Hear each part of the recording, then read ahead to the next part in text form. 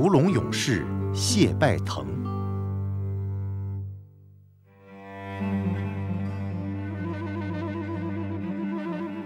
很久很久以前，世界上有一个穷人，他有三个儿子，他们家徒四壁，连吃饭的钱也没有。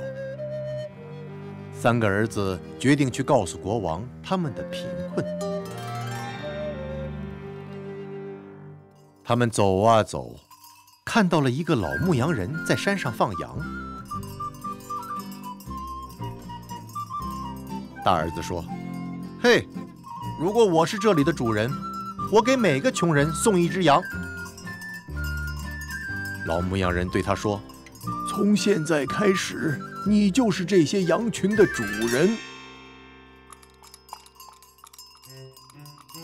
另外两个儿子继续上路，老牧羊人跟着他们，来到了一片山楂树林。二儿子说：“如果这里不种山楂树，而种葡萄，并且主人是我的话，我就给每个穷人送一串葡萄。”好，现在是你的了，老牧羊人说。山楂树林变成了葡萄园，二儿子留下来当上了葡萄园的主人。第三个儿子与老人接着走，走了一会儿，他们就到了多瑙河边。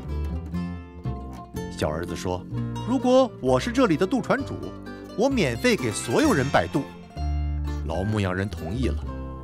现在只有他一个人继续走。他走啊走。有一天，他转回到大儿子那里，羊群主人吹着口哨，踱着步，心情很好。孩子，你有那么多只羊，你送我一只吧。如果每个人都送一只的话，最后我一只都不剩了。老人一挥手，人和羊就变成了大岩石。老牧羊人又去看了二儿子，你的葡萄很漂亮，一定会有好收成。你给我一两串吧。你怎么想的？我当然不给。他都没来得及看周围一眼，葡萄园立刻变成了山楂树林。老人到渡船主那里的时候，天已经黑了。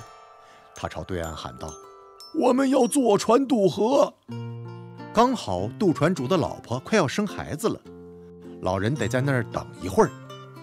不久，渡船主划船过来，他分文不收老人的钱。就在此时，小宝宝出生了，他们请老牧羊人当了孩子的教父。当孩子七岁时，他已经看起来像二十多岁的小伙子了。老人对他说：“谢拜腾，小伙子的名字叫谢拜腾。我给你一把剑，如果你对剑说‘我的剑砍下他的头’，他会砍下任何你想杀的人的头。”小伙子很感谢他。现在，老人接着说：“你去找邻国的国王。”因为国王需要很多牧羊人，像一年里的日子一样多，但你不要收太多工钱，最多十二福林，一个马鞍和一匹马。你吹着笛子在迷迭香森林里放羊，什么都别怕。谢拜腾来到邻国国王面前说：“殿下，您是不是需要人来牧羊啊？”“当然需要啊。”国王回答道。你边放羊边吹笛子，但你不要过桥，否则你的命就没了。谢拜腾一边放着羊，一边吹着笛子。国王从窗户偷偷地看着他。小伙子进入了迷迭香森林深处，把衣服铺在地上，吹起了笛子。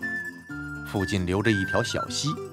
当他吹笛子时，突然听到溪水往上涌的声音，不仅仅是水涌上来。而且从水里爬出来一条长着七个头的龙，他对小伙子说：“你被什么风吹到这里来的？你想和其他牧羊人一样的下场吗？”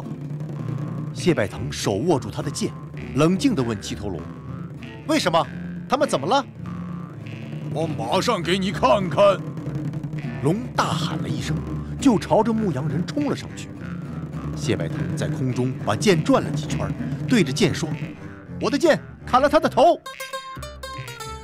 龙的七个头一个一个的掉了下来。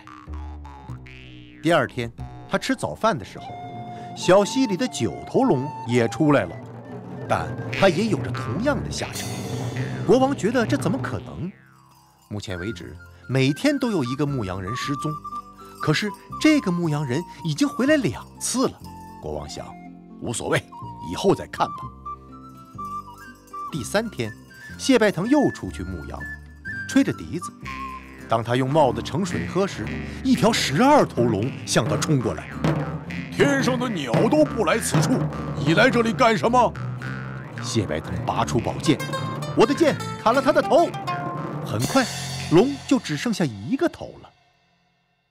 哎呦哎呦哎呦！屠龙者谢拜腾，请你留下我的一个头吧，相信我，我会报答你的。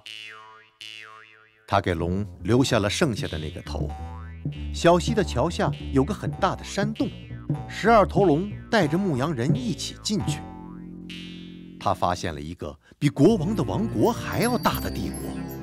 他也找到了很多牧羊人和被龙偷走的羊群。你们跟我来，我带你们去见殿下。”谢百腾说。他向龙告别后，还是砍了龙的最后一个头。回去后，国王对他说：“他终于明白他遇到了什么样的人。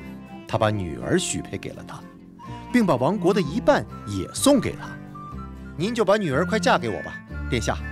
但是半个王国您还是自己留着吧，因为我拥有的王国比您的更特别。他们当天就举行了婚礼。如果他们还没有死的话，现在还幸福的活着呢。